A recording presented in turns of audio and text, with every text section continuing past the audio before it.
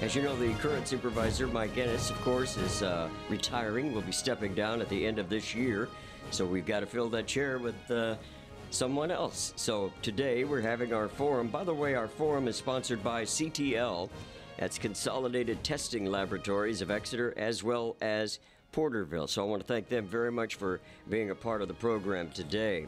Joining us today is former mayor and former council member of the Porterville City Council, Virginia Gurrola. And also joining us is Dennis Townsend, who is the uh, president of the Townsend Architectural Group. How did I do, Dennis? Did I do that? That was okay? good. I liked All it. right. Thank you, sir. and today's forum, of course, the rules are pretty simple. I'm going to ask questions, and you'll both have a chance to answer both of them. And, uh, or both of the questions will be answered by both of you. And uh, we should have a pretty good time. We've got a lot of things to cover. So I think, with all of that being said, I'd like to start with. Actually, I wanted to start with the uh, giant Sequoia National Monument, if that's all right. Trail of 100 Giants and all of that. How would you promote that as a visitor destination? I mean, could you get behind that and promote it for District 5? Virginia, if it's all right, Dennis, we'll start with Virginia Gurrola. Oh, thank you very much, and thank you for this opportunity uh, for KTIP and all the listeners out there. Um, great opportunity to bring tourism. Uh, currently serving on the South uh, County uh, Tourism Committee, and that is comprised of different partners from within the area.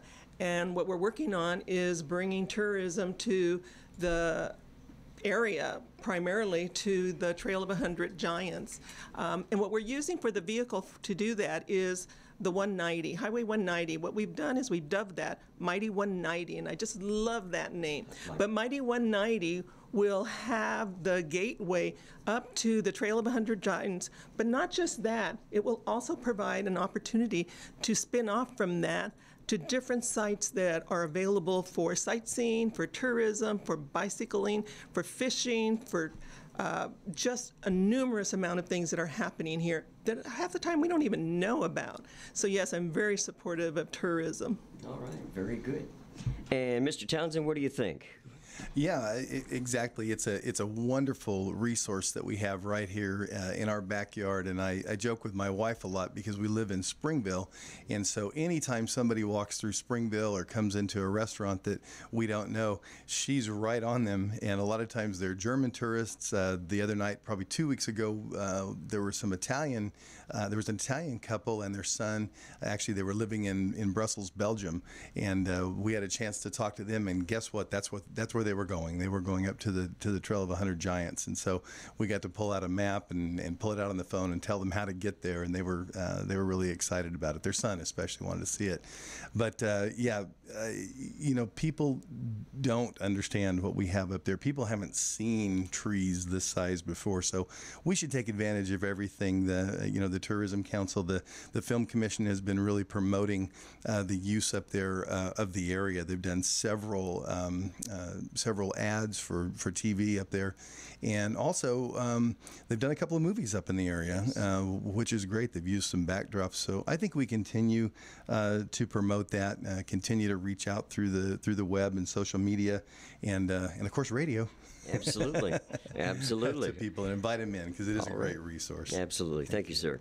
All right, let's uh, move down here a bit on the approach to economic development for the 5th District. There's got to be some things that I'm sure that both of you have a, uh, an idea or two on. And uh, Mr. Townsend, maybe we'll start with you this time. Okay, thank you. Um, yeah, we really need to begin to reach out. We've several years ago, the county uh, board of supervisors they they began to say that Tulare County is open for business. That became sort of the uh, sort of the motto, and uh, I completely agree with that. And what I would want to do is to uh, expand on that to say that let's really look at what we can do to be open for business. The Resource Management Agency, um, I had the experience just the other day of, of walking over with a client, taking some plans up to the counter, and I will tell you that in the past few years, there has been a change there, and the change has been for the better. They really were, every person from the lady that we checked in at the counter with uh, to the plan checker that came up uh, to the next counter uh, to the person as they were telling us goodbye as we left, they were very, very welcoming. I would like to uh, to really see that continue, um, and then to to really demonstrate that we're open for business, even to have some potentially to have some uh, tax incentives similar similar to uh, federal and state tax incentives uh, to bring people in and to be very welcoming for business, and then just to show them the way. Here's what we have open here's here's the pieces of property that are open.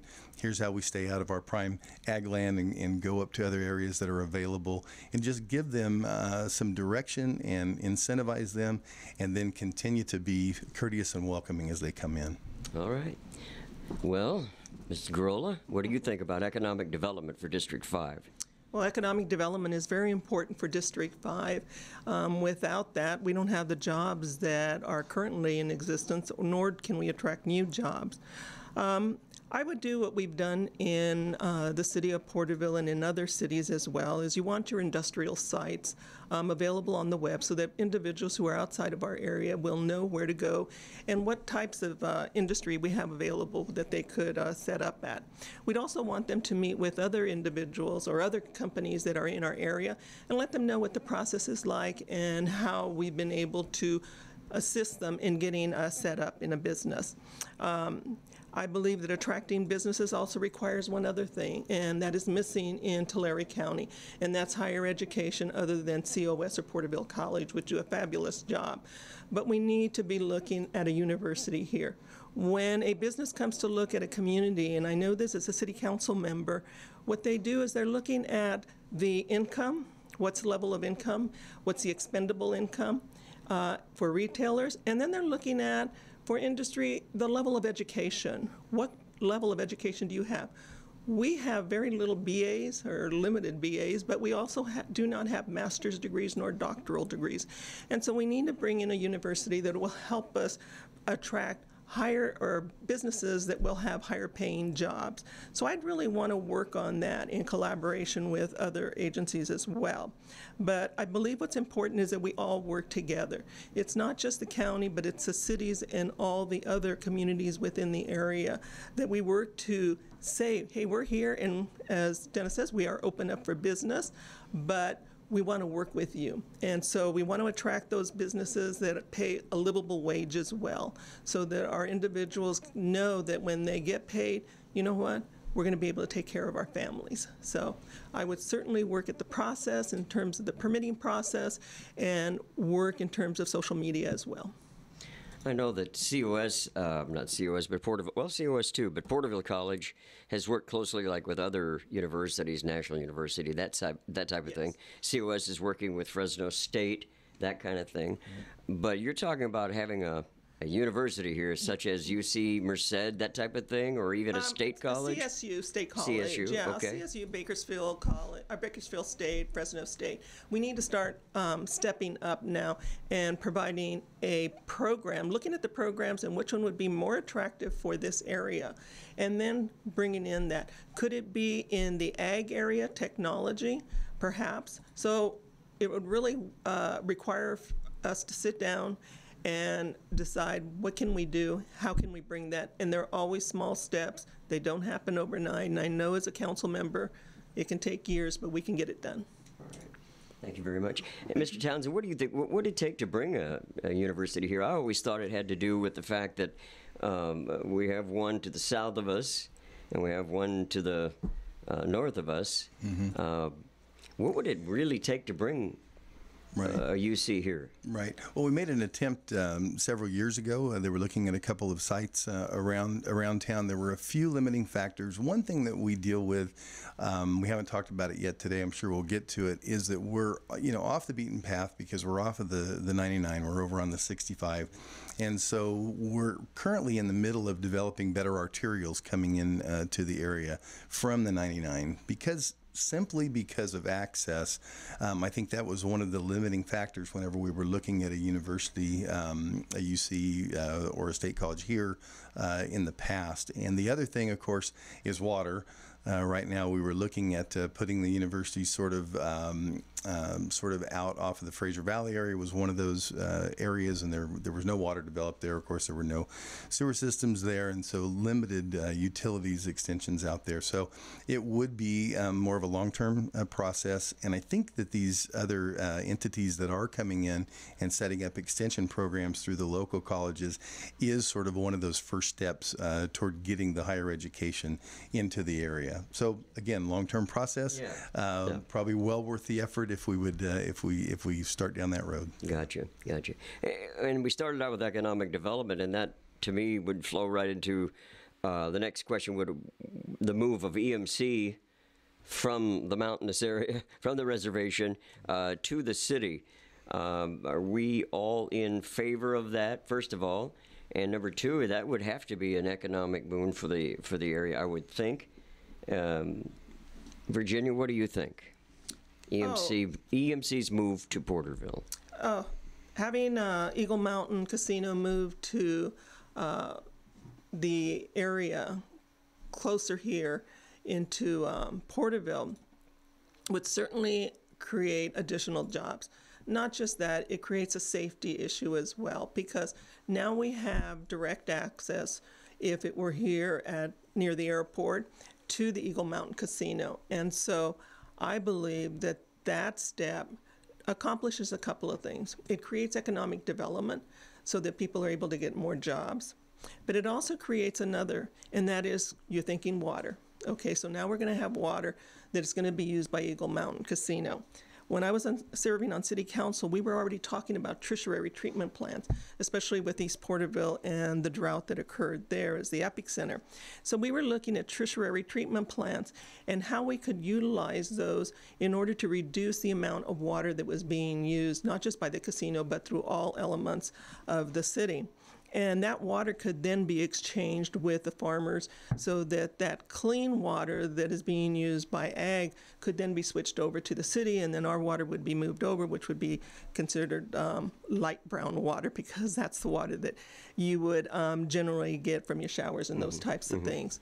But Eagle Mountain Casino um, will put a positive spin to Porterville because from that we'll get additional growth in business. And we're also going to be able to look at water and the way we use water in a different way than we're currently doing so now.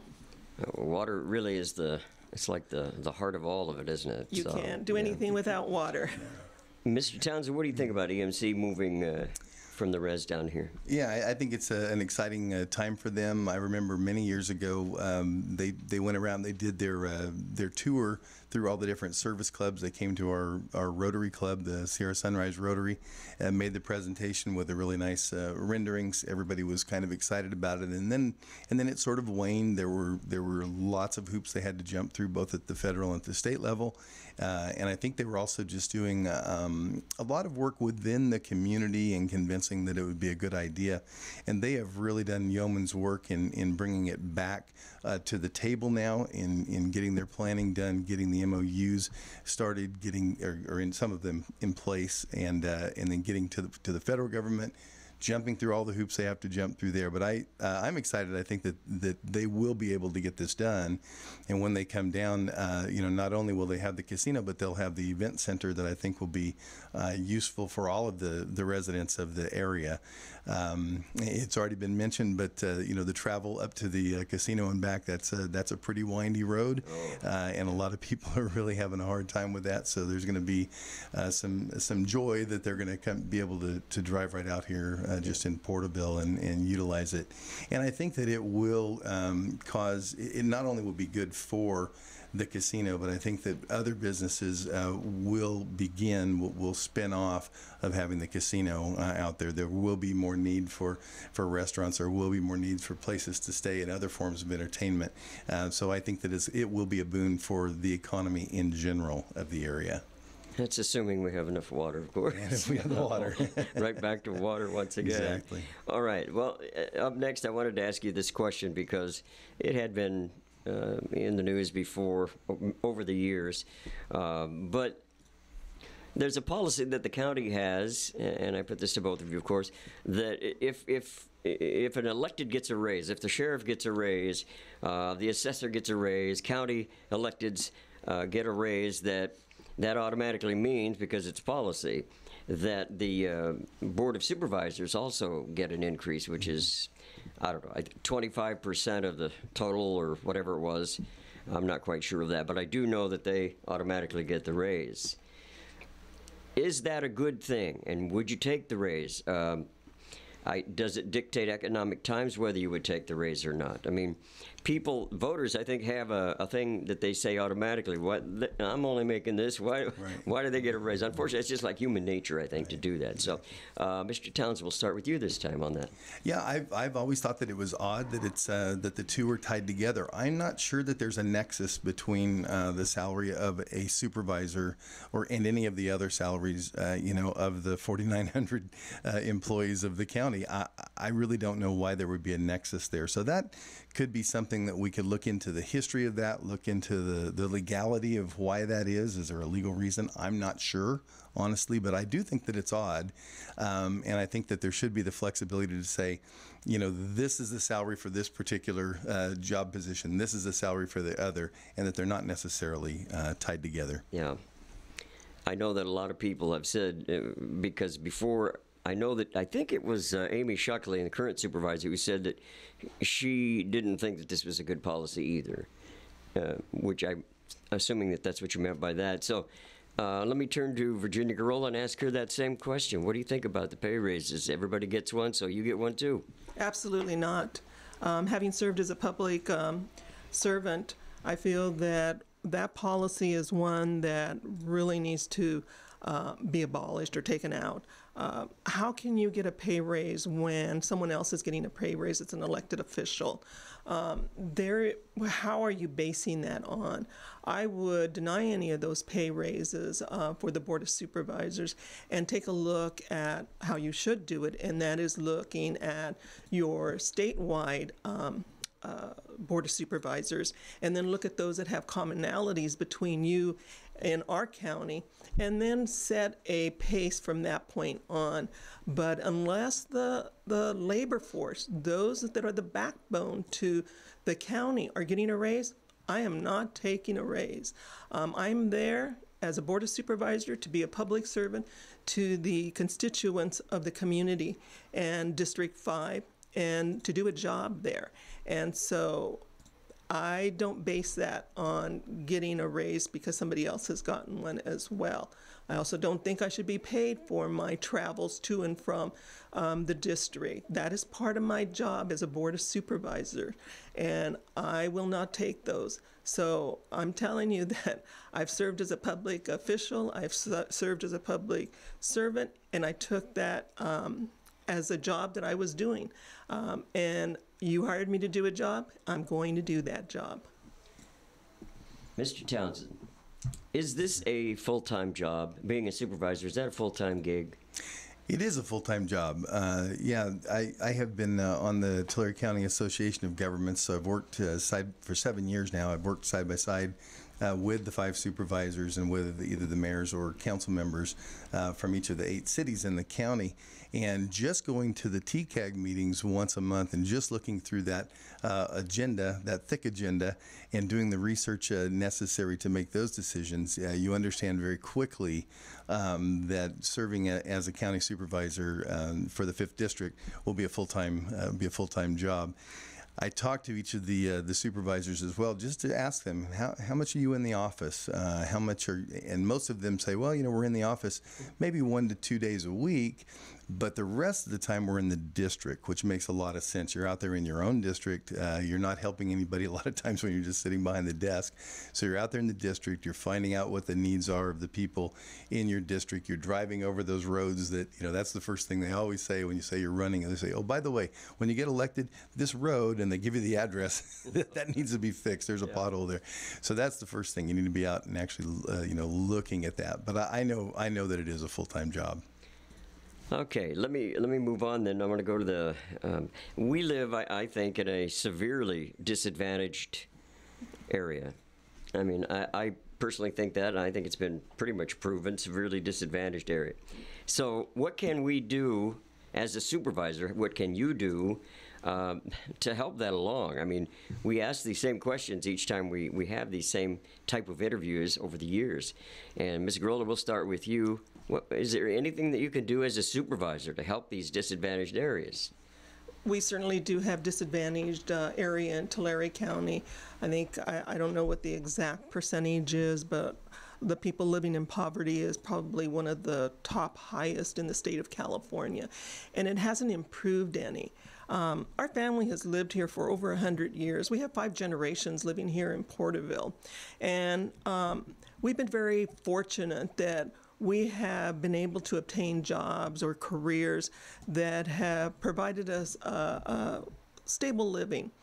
But there are individuals who are living here in Porterville, in Tulare County, in District 5, who live from paycheck to paycheck. And it goes back to economic development. We need to have livable wages here. When people don't have livable wages, they've got to start thinking about the things that they can't pay for.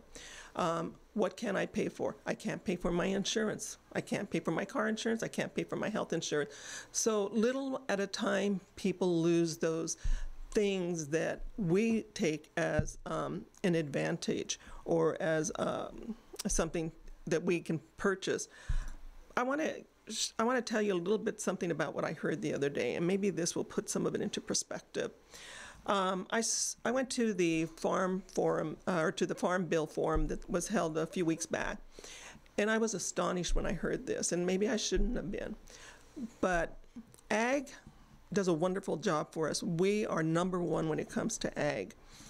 The people that work in ag, and this was at the Farm Bureau, said that the farm workers, because they don't get paid that much, in 10, 15 years will be the largest population who will be working or only receiving Social Security. And then if you add to that, and this is what I say, if you add to that all the people who are living on livable, on below livable wages, they're all going to be on Social Security.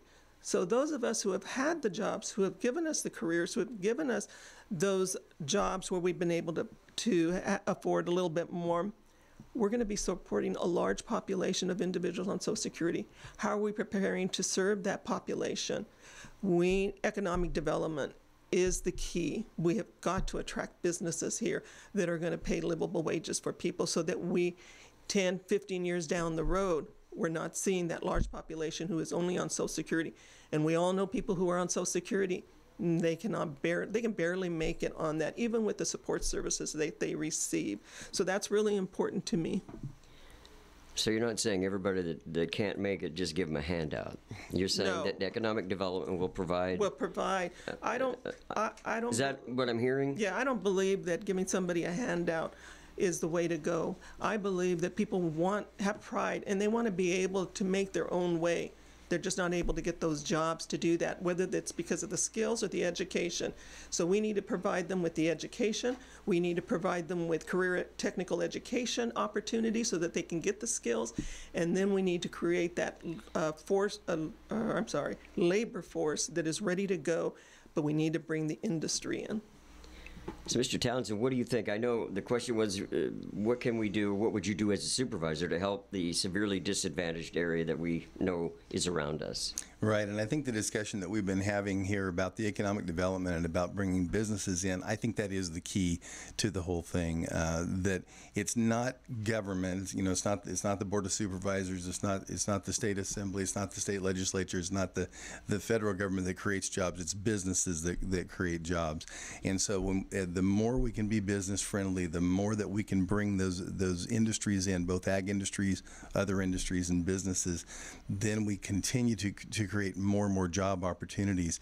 You know, my uh, uh, a lot of my family came out in the Dust Bowl whenever those uh, ag opportunities went away because of the drought. Uh, they came out here. Uh, my mother and father ended up taking an old furniture warehouse in East Porterville and making a home out of it just with their own hands. They, they just built a home built a, built it into a home, and lived there until the year before I was born when we moved across town, and.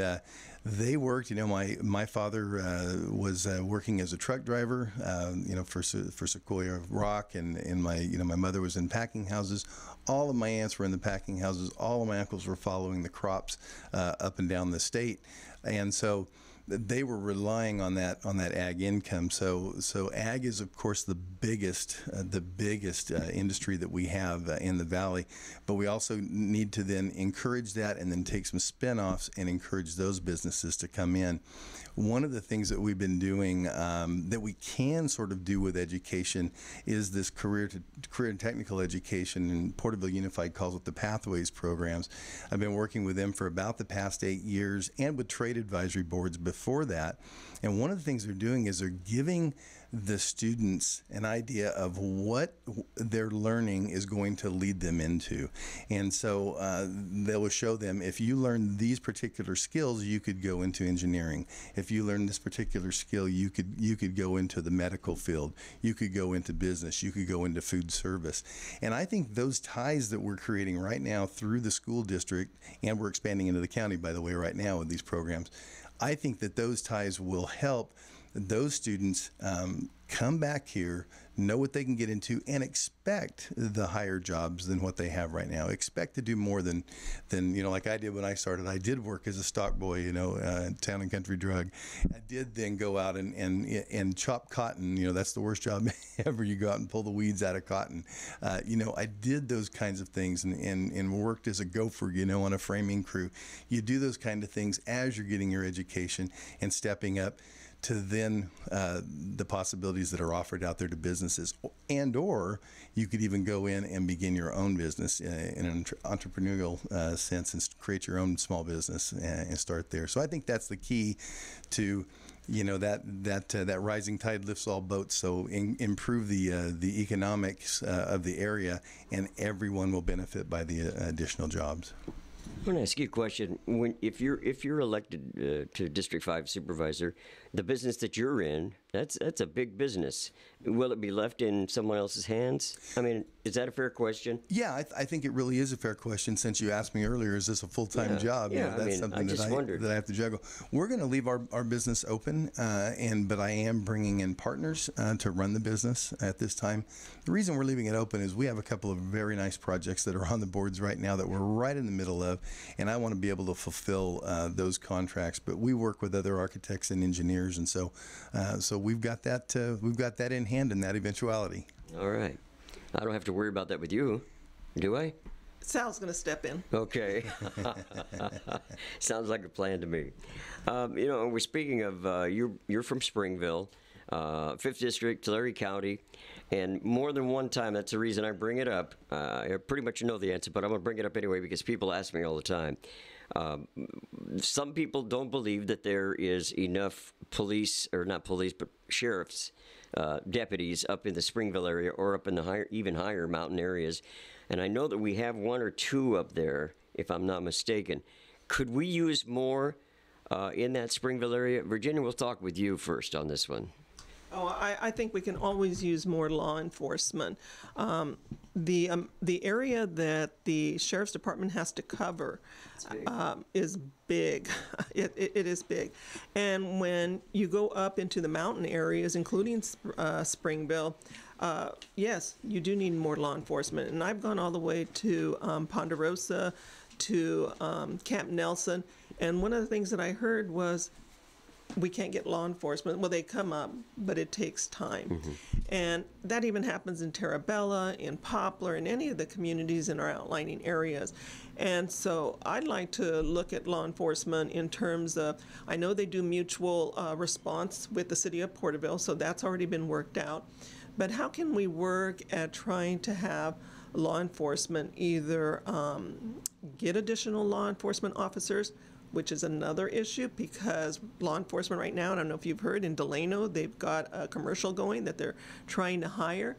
Right now, our law enforcement is very difficult in terms of recruiting because they're having to com- com- uh, compete with Fresno and Bakersfield, who are paying higher. So we need to look at law enforcement what are we paying them? What benefits are they receiving? And how do we recruit more law enforcement into the area? And of course, it always comes down to one thing, the budget. Got to have some money for it. Gotta have the money. And uh, um, and I know that people said that there's really not a whole lot of crime that happens, comparatively speaking. And I know that you live there, so I thought it would be a question for you as well. I mean, if there was a way to have more people up there, we don't want them up there being bored either. But at the same time, when somebody needs uh, help. Um, Right. Which brings to mind not only that, but how do you get a hold of people if you don't have a phone or if you? I mean, there, that, that's a whole new question. We'll get to that later. Okay, all right. Yeah, well, I, I want to point out the uh, the resident deputy program uh, that, that Sheriff Boudreaux has instituted several years ago is just, it's really a wonderful way to do this. Um, you know, we know our deputies, uh, you know, on a first name basis. We right in Springville we have Deputy Mike Torres, you know, great guy, and he's just he's just taking care of business up there. Up the hill we have Aaron Johnson or AJ, you know, they call him. He's up the hill in in, uh, in Camp Nelson. They work together. They cover each other's uh, shifts, and uh, I was I've been really impressed um, when we were having all of the uh, uh, the marijuana eradication up there that they actually had CHP uh, along with the sheriff, along with the Forest Service, and then some federal agents all up there at once. They actually, in one case, were queuing right on our, our road, parking on our on our driveway almost while they were doing this. Really impressed with the cooperation. Um, you know, but the the answer is I I really love what's going on now. I serve on the sheriff's uh, personal outreach team or SPOT uh, team I have for a, a few years now, and uh, we talk about uh, those things. How is it working with these with these resident deputy programs? How are we raising other deputies to come in uh, to their uh, to their communities? And that's what the focus has been: is to develop the uh, the the younger ones as they're coming up and wanting to get into the sheriff's department, trying to train them within their own communities to come out and be resident deputies in those communities. That helps because you you don't have the response time. They actually live right there. Yeah. Now the problem is, of course, is they live right there, and so when did they have time off? There, there has to be some sort of a rotation, and they're doing that by covering each other's uh, uh, sort of beats, you know, right now. So uh, more would be better, obviously, but the ones that are out there are just doing um, a really a great job, and need to be continued to. Uh, we need to continue to provide them uh, with uh, the equipment that they need, with the finances that they need to continue to expand those programs, because we're also growing in population. Yeah, that's true too. Yeah. But, and, and- but you have to admit that there are a lot of people that say the same thing over and over again. You know that it's taken too long for this or too long to get somebody out. It depends on the crime, I suppose. But I do know that the sheriff's department has a posse unit. They have the horseback um, deputies and that type of thing. Yeah. I'm just. Uh, uh, so are you telling me that we could use another one up there? Would you Would you try to get another one up there if you were a supervisor? You know, I, I- think I, I think so. Uh, I think as a, as a backup, as somebody that could that could rotate in, I think it's good to have the one resident deputy for each of the communities. Some communities don't have the resident deputies, and, and they have to, uh, and one has to cover several communities. And some are at, at the time where they're uh, you know they're ready to move on, and so we need to have a replacement there. So trying to bring people up that are from sort of those areas to, to step back in. But I definitely think it would be something to look at. Although they're doing a great job, I'm sure that they would appreciate uh, having a having a backup time to have somebody else come in for them. All right, all right. I wanted to talk a little bit about it, get your feelings on um, kids in the community. Um, I've, I've often wondered why we couldn't have more programs for kids. I know there's a lot out there, and again, now I'm going to get calls because I know that there are a lot of people out there. But when we hear about news all the time, and the sheriff's done a good job on trying to crack down on some of these. Um, human trafficking situations, I think is the word I wanted. And not only that, but just uh, uh, not just for human trafficking, but the kids that get, you know, thrown into a, I don't know. That one touches me, and I just wonder if there's anything as a supervisor that you, we could maybe perhaps work with uh, the sheriff and come up with, or the city people as well, and come up with things that could help train these kids, get them off to a, a different start, in other words. Because we still see the human trafficking, although they're doing a good job trying to catch them right now. Uh, Ms. Gurrola, want to take that one first? Sure. Um, I think you're right in terms of that we have a lot of things for kids to do, but then we also have not as much for those kids who probably don't have the access to some of those programs. So let me just start by saying that in the early 80s, um, through Porterville College, we did a program that was called the Sixth Grade Partnership. And I led that program. And what we did was we brought all the sixth graders and we went out to career or people from businesses and visited them and told them about the importance of an education. Then we took them out to the college those kids, when they went out uh, to the college six years later, came up and says, "Oh, Miss Gurrola, I remember you." And I says, "Great." And I believe it was because we were able to educate the kids. Um, and one of the importance here is that not every child, not every student is going to go to college. It, it's just not going to happen. I used to say every kid has to go to college, but now I say not every kid's going to go to college, but they want a skill and they want to be able to do a job. And so CTE is important here. I believe that we need to start getting, I think the pathways are doing that, but we also have students who are dropping out from that uh, pathway. And those are the kids that we need to grab and that we need to get and start working with them by developing a program where we get to speak with them, get people to mentor them, and find out hey, how can we help you get onto the right path to the right place? When kids go down this path of um, human trafficking, of gangs, of affiliations they really should not be a part of, what it's going to lead them to is right into a courtroom. And once they start down that criminal pathway, it's very difficult to make a change. I believe we can make changes on some, but there are some that we can't, so we need to capture those kids at the early ages. So I would want to look at expanding the Step Up program, for instance, expanding a program where we actually go out and divert those kids who are going to the juvenile as the next step for them. Yeah. And we all know that, you know, there's, uh, as parents, we have to step up too. I mean, Yeah, of course. Um, you know, and a lot of times, uh, some of the kids don't have those uh, around them like they should. So, No, but let me right. ask you, Mr. Townsend, the same question. Anything that you think of that would would Right. help uh, keep kids off the street, this type of thing? Right. It's sort of an all of the above. It's not. Uh, it's not a either or. It's a both and. And, and I think Hopper, you put your finger on it when you you start off with parents, um, and unfortunately, you know, with uh, you know, with half of our homes uh, being single parent homes, uh, that's that's a big issue, and that's where you're seeing uh, some of the children feeling like they don't belong, feeling like they don't um, fit in. Uh, feeling like they don't have that base of values because our, our, our family unit um, has deteriorated over time. If you look back over the last 50 years, uh, you can see a pretty bad deterioration in the in the family unit, and uh, of course the problems with uh, children uh, follows right along with that. So we actually worked. Um, uh, we got into sort of sort of sideways. We uh, said, yeah, we'll take the uh, church youth group uh, um, for a day for one Sunday many years ago. That that led into youth pastoring on a volunteer basis at uh, two different churches uh, for about the next 15 years. And so we were able to see um, kids that were coming out of, of um, you know two parent homes uh, that were doing well. They were bringing them up, uh, you know, with their values, with their faith.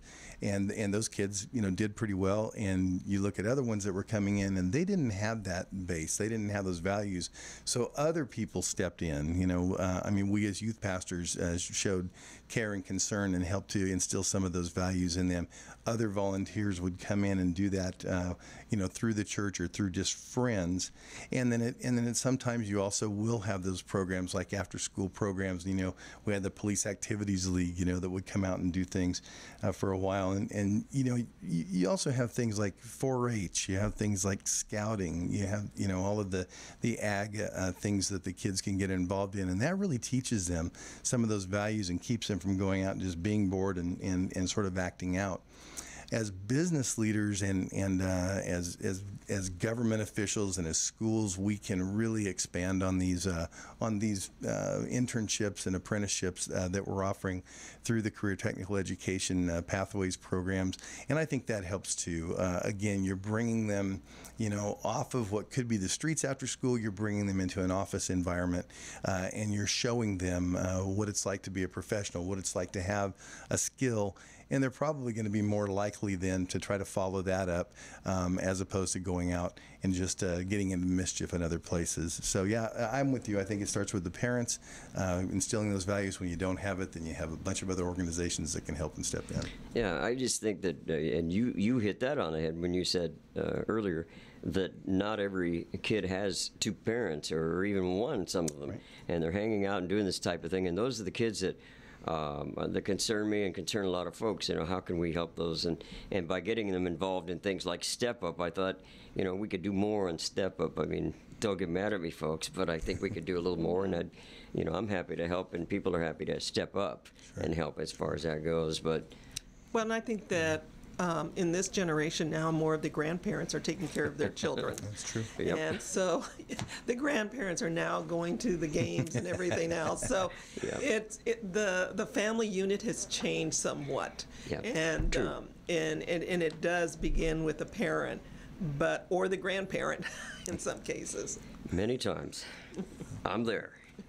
All right. Anyway, let me move on uh, to the uh, Cross Valley Rail Corridor that we've been hearing so much about. Uh, on the surface, it looks like a great thing. and I, I don't see a negative to it on the surface. Uh, I know it has to do with money and things like that. TCAG has uh, done a good job with this, and, and other people involved as well. As a supervisor, you you continue to support that, or if you support that at all, Mr. Townsend. Yeah, and uh, serving on TCAG, I'm real familiar with it, and and of course, uh, you know, we've had this discussion even even at the last TCAG meeting. There was a little joking uh, going on about it as we were talking about it, um, because it, it you know it's tying in with uh, with the with the high speed uh, rail, and uh, so a lot of people, even if you're on the the opposite side of the, you don't want the high speed rail to go in, you have to though prepare for. If it did what are you going to do for this uh, getting somebody from one side of the valley to the other where you might be able to get on the rail if it did come in? So the discussion kind of comes down to well even if it if it never goes in if they never finish it it's so far over budget it doesn't get finished you can still have a benefit of the uh, of the cross valley corridor uh, on using on using that sort of a light rail system um, to then have access of people uh, coming from Porterville, you know, going all the way to the other side of the valley, um, and being able to do that hopefully at a lower uh, at a lower fare. Uh, my wife and I were able to spend a year in uh, in Florence, Italy. I took my last year of school there uh, through a uh, study abroad program uh, from Cal Poly. And in that, you went everywhere on a train because in, in Europe, uh, they developed that way. They developed along the rails. We were a little bit uh, a little bit different uh, here because we, you know, we're independent, and you had you know the somebody come out and they just set up their place out in the middle of nowhere, and then somebody else set up another place out in the middle of nowhere. So we weren't real connected uh, like that uh, as as we grew. So we're not used to it. Not a lot, Uh, not a lot of planning involved. right, right, exactly. We're very independent. Yep. So when we come, we're coming in uh, later and saying, okay, let's find a corridor where we could put a rail and have an alternative, uh, alternative means of transportation.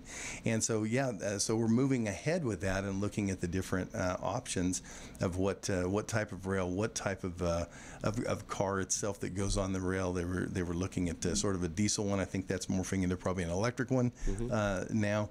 But I think it would be a good thing. I think it would be a valuable resource uh, to have, even if even if it's not a connection to high speed rail. I think it'd be a valuable resource to have it. Ms. Gurrola, what do you think about that? Well, I served on TCAG when I was on city council. I served on there actually 12 years. So we started talking about light rail some time ago. And the approach that we were looking at was regional transit, not just the uh, the uh, light rail, but also in how we were using um, our bus uh, system to be able to capture individuals and bring them into the community. So on the uh, light rail, what um, which I'm very supportive of. What we did there is the city of Porterville purchased uh, through TCAG eight miles of the old abandoned rails, which goes into Strathmore. And people, a lot of people don't know that that belongs to the city of Porterville. And so, in preparation of the um, light rail or Cross Valley Rail that it's called now, that would bring individuals across the valley, but specifically to the high-speed rail when that happens. And I agree, that's already going. We can't take a side on that. Um, there's going to be good there, But for the light uh, rail, I am very supportive of that because that is going to be a regional approach that takes people throughout the valley, throughout the district, in a mode of transportation that we've not had before. So, very good. Yeah. Now, I know that uh, we, we spoke about this about a week ago, or um, maybe it was with uh, Ted Smalley even, um, talking about the South Valley, what is it called again? The Cross Valley um, corridor. The one, the piece that definitely would go from uh, Porterville through winding and ending up in Huron. Is that is that correct? Is it Huron? Yeah. Hur- I think it's Huron that I had. Right, yeah. So I'm probably throwing out in- information I'm not sure of, but I, I believe that's it. And so uh, it sounded really, really good. Um, and, and and provided places for people to, although we didn't discuss the fact that uh, high-speed rail could be involved. So I'm glad that you brought that up because that's both of you. I mean, if it's going to be there, and we've heard this from everybody from from Visalia to Hanford, you know, if it's going to be there and there's nothing we can do about it, let's at least try to get a good stop for our people or something, you know, that kind of thing. So I thought I'd ask you about that since we've been kicking it around quite a bit. Um, as we get close to time, I, I want to ask you both why we should vote for you.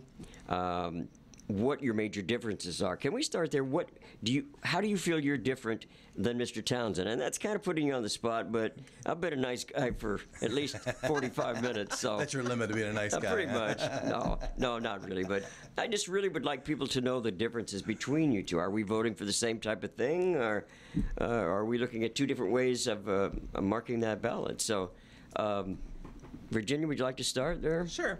Um, so I see the difference between us is uh, that I have had experience serving on the city council, 12 years on city council. So uh, I know what we need to do when we're looking at planning, when we're looking at industrial, when we're looking at zone changes and all the other things that go along with that. Um, I've also served on the Tulare County Association of Governments, TCAG, as well as the South, uh, San, uh, sorry, San Joaquin Valley Air Board. And so I have experience in there in terms of getting funding out to the various uh, communities so that they can do electric buses and other types of um, functions with uh, uh, reducing air pollution. Um, so I've worked on several uh, committees, uh, including the mitigation that comes out of TCAG as well, so that we can mitigate before we actually come before a problem problem when a project is going forward. Um, I have experience serving, um, having a career of 37 years at Porterville College, uh, serving students and ensuring that they are moving forward, whether that's to a career, whether that's to their higher education. And um, the other is that I have the experience of having lived here all my life in Tulare County, and I know that Dennis has as well as well. But living here in terms of knowing what it's like to have to deal in a disadvantaged situation, uh, dealing with individuals who, um, including some of us in our family, who have had to struggle to try to make a career out of um, what we have. I'm a first generation college graduate out of our family um, and am leading that pathway for my granddaughters as well. And so um, there's many differences between us, but I would say I would stand on those as the differences that when we start the job as the Board of Supervisor, I'm ready to go in and start that on the first day and to sit down with the um, RMA and all the others and start talking about what business are we going to start doing for not just District 5, for Tulare County to improve us so that we are no longer below that level in the poverty? So, does that make you different than this gentleman here? I believe my experience, I believe my, yeah, okay. the That's fine. experience. That's fine. I just make sure I was on the right I- track. I, I don't know what else would make me different other Yeah. than my experience. No, oh, that's fine. That's fine. Mr. Townsend, your turn. What is there a difference between you and this lady right here? I mean, I'm just asking. Yeah, we're both wearing blue as, as uh, That's your good. wife I pointed forgot out. the memo because I didn't get it or something. So, besides that, yeah. No, you know, uh, one of the reasons that um, you know, actually, Supervisor Ennis was the first one to, to reach out and, and ask me to run um, for this position. And uh, he did it, and several of the others came and uh, kind of slapped me on the back, congratulated me. And several other people at the county level said, What we need is we need someone uh, to come in that has a business mindset. And so they're looking at me as a small business owner. As some people like to say, I've signed both sides of the checks. Uh, so uh, for the past uh, for the past about 18 years, I've run I've run my own business through uh, through the highs and lows of this economy. And you know, in the construction industry, I'm an architect, but so we're tied to the construction industry. I mean, I've seen it going where it, it's just going gangbusters with the economy, and then we saw it dry up to nothing. And we've had to deal with budgets uh, that will smooth out those uh, those peaks and those valleys and try to stay alive. Uh, you know, many businesses went under during those times. We were able to uh, we were able to survive it, and and this the business uh, mindset has come actually from uh, it, it goes all the way back to when I was 12 years old. I was working in the backyard with my dad. He was showing me how to build how to build a shed, and he was my stepdad. Actually, my father passed away when I was five, but he, he and he had polio, and he was in a wheelchair, and he's showing me this is how you you know you run a saw. This is how you hammer hammer the nails.